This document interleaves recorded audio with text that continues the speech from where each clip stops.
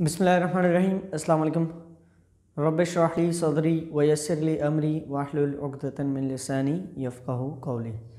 یہ ہماری ہسٹری کی تھرڈ کلاس ہے اور ہم پہلا چیپٹر کر رہے تھے ریلیجیس تھنکرز کا، جس کے اندر ہم نے the work of Shah Wali اللہ رحمۃ اللہ علیہ، جو کہ سترہ سو تین میں پیدا ہوئے اور سیونٹین سکسٹی ٹو میں ففٹی نائن ایئرز اولڈ رہے۔ ففٹی نائن ایئرس کی ایج کے بعد انتقال ہو گیا۔ سید احمد شہید بریلوی، جو کہ پینتالیس سال جنہوں نے عمر پائی۔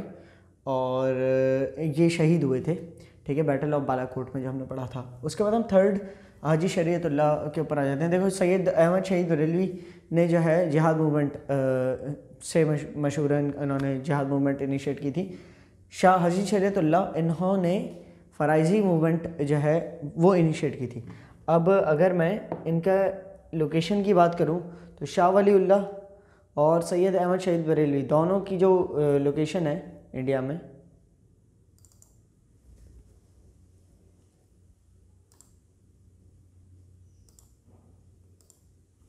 وہ اس طرف رہی ہے اور سید احمد شہید بریلوی نے جو ہے سکھوں کے ساتھ سکھ امپائر کے خلاف جہاد کیا جو مسلمانوں کو اپریس کر رہے تھے۔ اور، شاہ ولی اللہ نے لبریٹ کیا مسلمانوں کو دلی کی طرف جو اس طرف پڑتا ہے۔ حاجی شریعت اللہ، وہ بنگال کی طرف، بنگال میں بھی ایسٹ بنگال اتنا یہ خطہ بنگال کا اس میں بھی ایسٹ والا حصہ، ایسٹ بنگال کے حصہ میں آپ کا جو ہے وہ کام رہا ہے۔ حاجی شریعت اللہ وہیں کے ہیں۔ تھے آپ اور سیونٹین ایٹی ون میں۔ سید احمد شہید بریلوی ہی کا دور ہے، بلکہ ان سے پانچ سال پہلے پیدا ہوئے اور ان سے نو سال بعد انتقال ہوا۔ تھا مطلب یہ تقریباً آپ سمجھ لیں forty, sixty six fifty nine years old ان کی بھی ایج رہی ہے۔ ان کی بھی ففٹی نائن، شاہ ولی اللہ کی ففٹی نائن۔ اچھا سید احمد شہید بریلوی کا اور شاہ ولی اللہ کا تعلق ایک طرف تھا اور دوسری طرف یہ ان کا آپس میں کوئی مطلب ظاہر ہے دونوں اسلام کے لیے کام کر رہے تھے، لیکن ان کا کام بالکل ایسٹ بنگال کی طرف بنگال کی سائڈ پہ تھا۔ بالکل ڈفرینٹ لوکیشن ہے۔ ٹھیک ہے۔ ان کی ارلی بایوگرافک ڈیٹیلز یہی ہیں کہ وہ پیدا جو ہے نا فرید پور ڈسٹرکٹ بنگال ایسٹ بنگال کے اندر پیدا ہوئے تھے اور ان کے فادر جو ہے ایک فارمر تھے۔ وہاں پیزنٹس پیزنٹس اور فارمر کی بات ہے، وہاں کسان طبقہ زیادہ تھا۔ اور سیونٹین نائنٹی نائن میں آپ جو ہے، جب آپ اٹھارہ سال کے تھے تو آپ حج پہ گئے اور انیس سال بعد واپس آئے۔ ٹھیک ہے۔ تو یہ اراؤنڈ تھرٹی سیون ایئرس کی عمر تھی جب یہ واپس آئے حج سے۔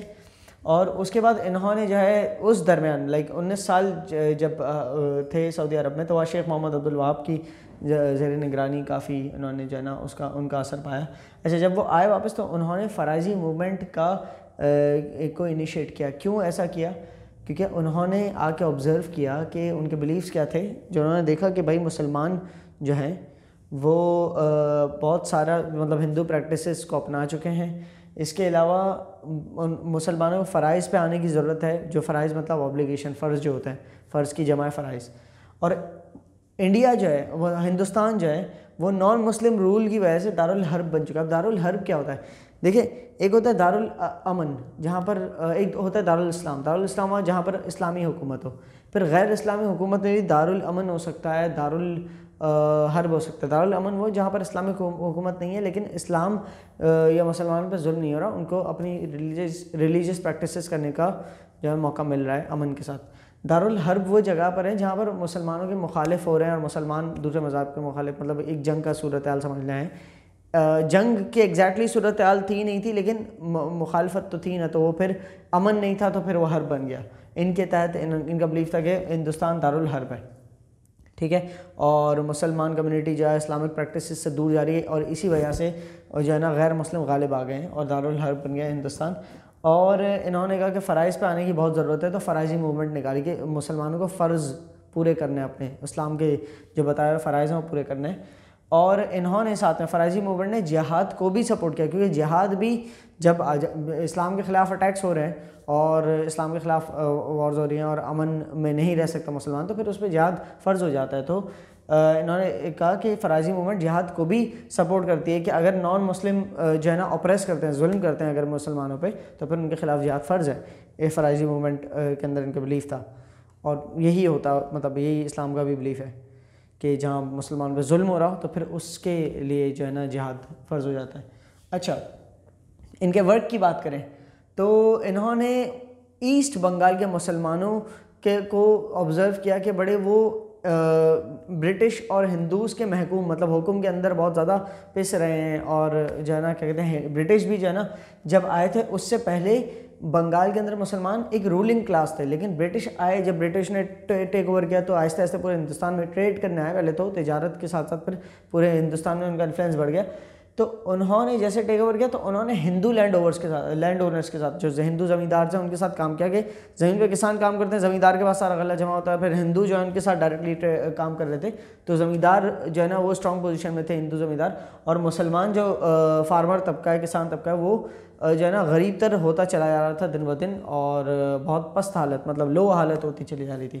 تو حاجی شریف اللہ نے کہا، فرائضی موومنٹ جس نیت سے ایسٹ بنگال کے اندر جو اسٹارٹ کیا، انہوں نے کہا، دیکھیں، ایک تو مسلمانوں کو ریسٹور کرنا بہت ضروری ہے۔ اپنی پرانی رولنگ اور وہ جو ایک پرائڈ پوزیشن تھی، اس پہ لے کے آئے گی یہ موومنٹ یہ ان کا یقین تھا ان شاء اللہ کے ساتھ انہوں نے جو شروع کیا۔ اور ساتھ میں ہندو پریکٹسز ایک تو مسلمانوں کو دوبارہ اسی رولنگ کلاس پہ لائے گی اور ہندو پریکٹسز جو گھس گئی ہیں مسلمانوں میں، وہ بھی نکل جائے گی۔ تو الٹیمیٹ ان کا گول یہی تھا کہ اسلام کی کو پیوریفائی کر دیں گے کس طرح، مسلمانوں کو پیوریفائی کر دیں گے، دوبارہ اسلام پہ آ جائیں، ہندو پریکٹس چلے جائیں اور جب ایسا ہو جائے گا تو وہ اتنے یونائٹ اور اتنے اسٹرانگ ہو جائیں گے کہ رولنگ کلاس دوبارہ بن سکتے ہیں۔ ٹھیک ہے؟ پھر ظاہر ہے، پھر دوستی اور دشمنی اور کاروبار سب اللہ کی خاطر کریں گے، اس طرف جب آ جائیں گے۔ تو اس کے نتیجے میں پھر ایک رولنگ کلاس کی کا اسٹیٹس دوبارہ مل سکتا ہے مسلمانوں کو ایسٹ بنگال کے اندر، جہاں کام کر رہے تھے، اور بر صغیر ہندوستان کے اندر۔ اچھا فرائضی موومنٹ سپورٹ جہاں یہ ہو گیا، ان کے ورکس تو ان کے ورک جو تھے، ایک تو یہ تھا کہ انہوں نے فرائضی موومنٹ بنائی، جس کا کیا ایم تھا۔ فرائضی موومنٹ کا ایم یہ تھا، اور فرائضی موومنٹ کا زور کس چیز پہ تھا؟ کہ توبہ کریں مسلمان اپنے گناہوں پہ۔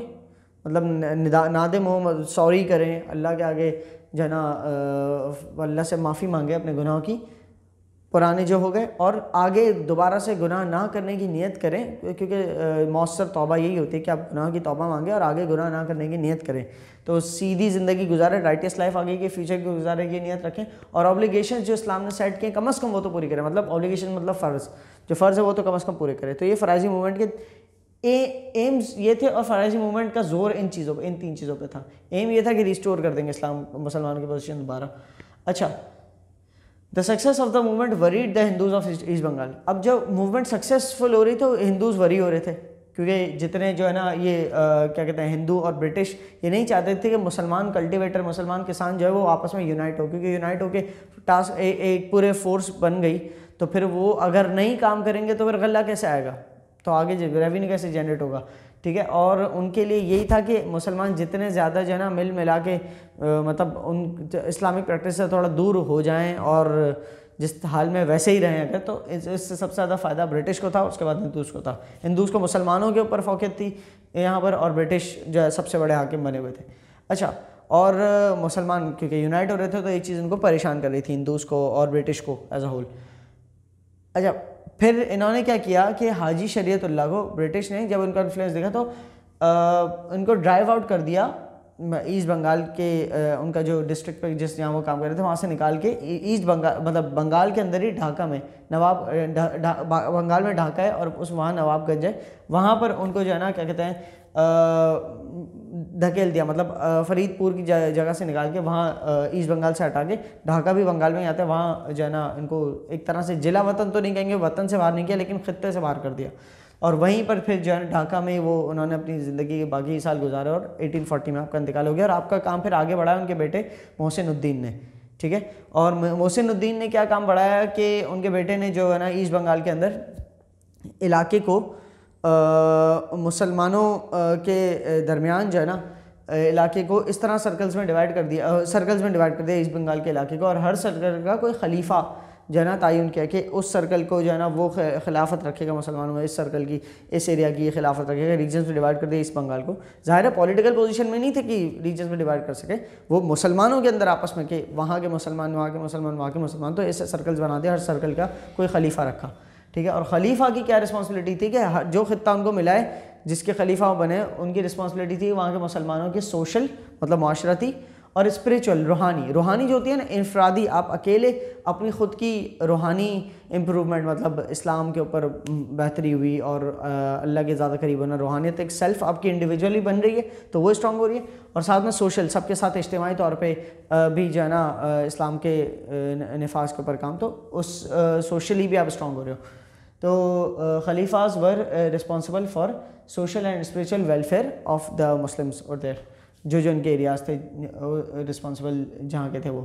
He had the presents to oppose the excessive tax اچھا خلیفہ، وہ سوری محسن الدین نے پھر ایک تو یہ کہ سرکل سے ڈیوائڈ کر دیا، خلیفہ تعین کر دیا. اس کے علاوہ یونائٹ کیا پیزنٹس کو، کسانوں کو، کہ وہ اپوز کریں ایکسیسو ٹیکسز کو جو ان کے سر پہ لگ رہے ہیں.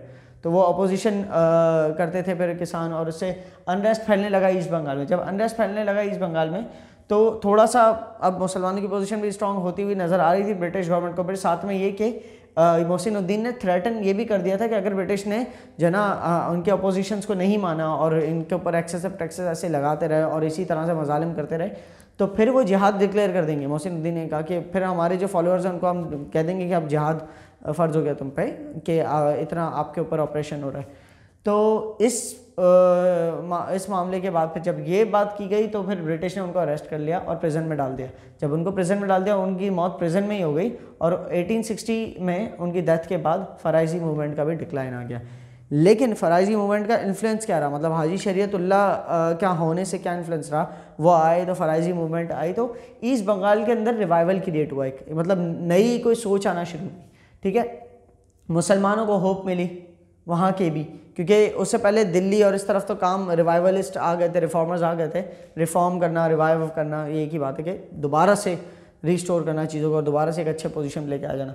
تو ہوپ ایسٹ بنگال کے اندر بھی آگے کی تھی کہ وہاں بھی ریوائول آ رہا تھا اسلام، وہاں بھی پیوریفائی ہونا شروع ہو گیا تھا، ٹھیک ہے؟ اور پھر ہندو پریکٹسز جو مل ملے، مل گئی تھی اسلام کے مسلمانوں کے درمیان، تو وہ بھی کم ہو گئی تھی کافی حد تک۔ ریموو تو پورے طور پہ نہیں، کم ہو گئی تھی کہہ لو۔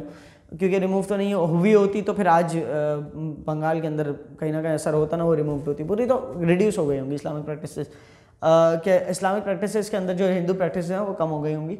It had also an important political and economic heads تو یہ تو ایک ریلیجیس امپیکٹ تو تھا، ساتھ میں پولیٹیکل مطلب سیاسی اور اکنامک معاشی ویلتھ اور انکم کے حوالے سے۔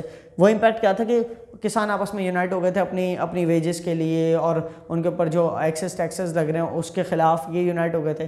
اس کے علاوہ وہاں کے لوگوں کو، ایسٹ بنگال کے لوگوں کو اپنے حقوق پہچاننے کا موقع ملا کہ بھائی ان کے بھی حق ہیں، وہ بھی مطلب جس طرح زندگی گزارے، وہ کوئی تھوڑی زندگی تھی، کوئی ان کے بھی حقوق ہیں، تو وہ اپنے حقوق کو پہچاننے لگے۔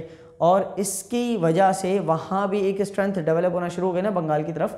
تو فیوچر میں، جو ظاہر سی بات ہے، اب حاجی شریعت اللہ کا دور جو ہے ایٹین فورٹی میں ختم ہوا اور ان کے بیٹے ایٹین سکسٹی میں ان کا دور ختم ہوا۔ تو ایٹین سکسٹی کے بعد اسٹل اراؤنڈ اسی سال بعد ہاں اسی ایٹی سیون ایئرس بعد پاکستان آزاد ہوا۔ تو پاکستان کی جد و جہد، پھر اس کے بعد جو ہے نا، جو بھی ریفارمرز آئے نا، وہ پاکستان کی طرف لے کے جانے لگے۔ پاکستان موومنٹ کی جد و جہد جو ہے نا، آگے جا کے آہستہ آہستہ ایونٹس آ جائیں گے، ایک کے بعد ایک، اور وہ پاکستان موومنٹ کی جد و جہد میں کنٹریبیوٹ کریں گے۔ تو ایک ساتھ ایسا نہیں ہے کہ نائنٹین فورٹی میں یا قائد اعظم کے آنے کے بعد ہی قائد اعظم وہ پاکستان کی جد و جہد۔ تب ایک یہ ذہن میں تصور آ گیا کہ اب سیپریٹ ہوم لینڈ چاہیے، جو کہ سر سید احمد خان کے دور سے ہی جو ہے نا یہ چیز، یہ تصور آ گیا تھا کہ سیپریٹ ہوم لینڈ چاہیے۔ لیکن اس سے پہلے چھوٹے چھوٹے ایونٹس یہ چھوٹے نہیں ہیں، بڑے بڑے ایونٹس ہیں ویسے۔